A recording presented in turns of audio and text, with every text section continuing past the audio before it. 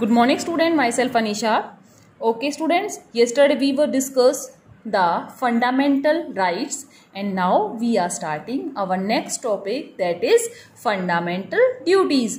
देखिए by the 42nd amendment of the constitution adopted in 1976 um, fundamental duty of the citizen have also been enumerated. Article 51A contained in Part 4A. The Constitution deal with fundamental duties. As of now, they are 11 fundamental duties. देखिए जब forty second amendment आया था हमारे constitution में इसको adapt किया गया था उन्नीस में तो जो हमारे मौलिक अधिकार हैं वो सभी नागरिकों को प्रोवाइड किए गए हैं और 51A आर्टिकल जो फिफ्टी वन ए है, उसमें के भाग चार में इन्हें हमारे संविधान में लागू किया गया है। तो यहाँ पर हमारी ग्यारह फंडामेंटल ग्यारह मौलिक कर्तव्य हैं, जिनका वर्णन जो है हम वन बाय वन करेंगे। To abide by the constitution and respect its ideals and institution the national flag and the national anthems यानी हमारा संविधान कहता है कि आपको जो भी संविधान के द्वारा संस्थाएँ स्थापित की गई हैं, हमारा राष्ट्रीय झंडा है, हमारा राष्ट्रीय गान है, उनके प्रति आपको सम्मान की भावना रखनी है। To cherish and follow the noble ideals which inspire our national struggle for freedom यानी जिन व्यक्तियों ने, जो हमारे आदर्श विचार रखते हैं, जिनसे हम प्रेरित हैं और जिन्होंने हमारे राष्ट्रीय स्ट्रगल या राष्ट्रीय संघर्ष, हमारी स्वतंत्रता के संघर्ष के लिए जिन्हें हमें प्रेरित किया है, उनके उनके आइडियल्स को, उनके विचारों को, उनके आदर्शों को हमें अपनी लाइफ में अपनाना है। Number third to uphold and protect the sovereignty unity and integrity of India उन्होंने कहा है, आपको भारत की प्रभुसत्ता एकता और अखंडता को भी बनाए रखना है कि ये हम सभी सिटीजन का मौलिक कर्तव्य है कि आपको भारत की पुरुषत्ता एकता और अखंडता को बनाकर रखना है। To defend the country and render national survive when call upon to do so आपको अपनी कंट्री को बचाने के लिए, आपको अपनी राष्ट्र सेवा को प्रस्तुत करने के लिए जब आपको जो नेशनल की ज़रूरत पड़े तो आपको उसको क्या करना है, प्रस्तुत करना है। यानी आपको अपने आप को प्रेजेंट करना है कि जब कभी भी कंट्री में किसी भी तरह की आपकी ज़रूरत होगी तो आप एक एज ए अच्छे नागरिक की तरह हमेशा अपनी राष्ट्र सेवा के लिए तैयार रहेंगे।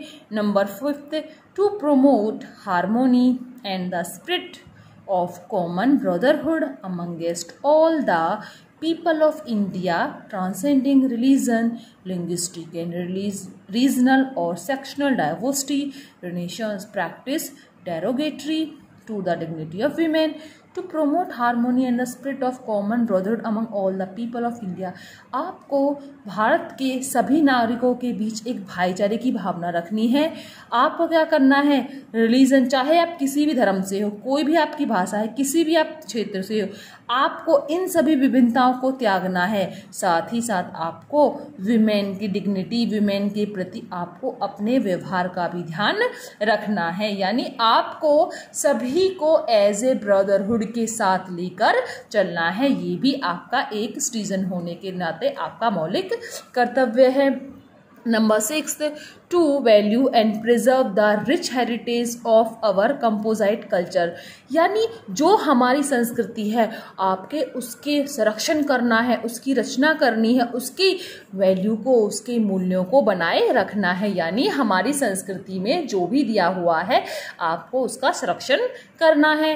Number seven to protect and improve the natural environment including forest lakes rivers and wildlife and to have compassion for living creature कि आपको क्या करना है? सुरक्षित करना है, सुधार करना है अपनी प्राकृतिक पर्यावरण में। जैसे कि हमें अपने फॉरेस्ट में, अपनी लेक्स नदियों में अपनी झीलों में हमारी जो वाइल्ड लाइफ है जो जानवरों की लाइफ है साथ ही साथ में इनमें कंपेरिजन करना है और जो लिविंग क्रिएचर है ना जीवित जीव जंतु है हमें इन सभी को प्रोटेक्ट करना है। क्योंकि ये सभी ए, हमारी लाइफ का एक बहुत ही इम्पोर्टेंट पार्ट होते हैं। तो आपको एक रेस्पॉन्सिबल सिटीजन होने के नाते ये आपका मौलिक कर्तव्य है कि आपको नेचुरल इन्वायरमेंट को बनाए रखना है। साथ ही साथ में आपको वाइल्ड लाइफ लिविंग क्रिएचर को भी सुरक्षा प्रदान करनी है। Number eight to develop the scientific temper humanism and the spirit of inquiry and reform आपको साथ ही साथ में वैज्ञानिक टेम्पर को भी रखना है, वैज्ञानिक सोच भी रखनी है। ह्यूमनिज्म मानववाद भी बनना है। स्प्रिट ऑफ़ इंक्वायरी यानी आपको खोज की स्प्रिट भी रखनी है, खोज की आत्मा भी रखनी है एंड रिफॉर्म और सुधार भी करने हैं। यानी एक अच्छे सिटीजन होने के नाते जब नीड पड़े, आप एक साइंटिस्ट की तरह सोचो मानववाद की तरह, मानव की तरह व्यवहार करो और जब नीड पड़े, एक स्प्रिट रखो इंक्वायरी की, आपको खोज करनी है, साथ या तो नीड पड़े तो आप एक सुधमा सुधारक की तरह कार्य करने चाहिए। यानी एक अच्छे सिटीजन होने के लिए आपकी ड्यूटी है कि जब आपकी कंट्री को आपकी ज़रूरत पड़े तो आप उसी की तरह व्यवहार करो। Number nine to safe public property and to abjure violence यानी आपको जो गवर्नमेंट की, जो जनता की जो प्रॉपर्टी है, उसको सेव करना है, साथ ही साथ आपको अहिंसा का भी त्याग करना है, यानी गवर्नमेंट की किसी भी तरह की प्रॉपर्टी को आपको डिस्ट्रॉय नहीं करना है। Number ten to strive toward excellence in all spheres of individual and collective activity so that the nation constantly rises to higher level of endeavor and achievement.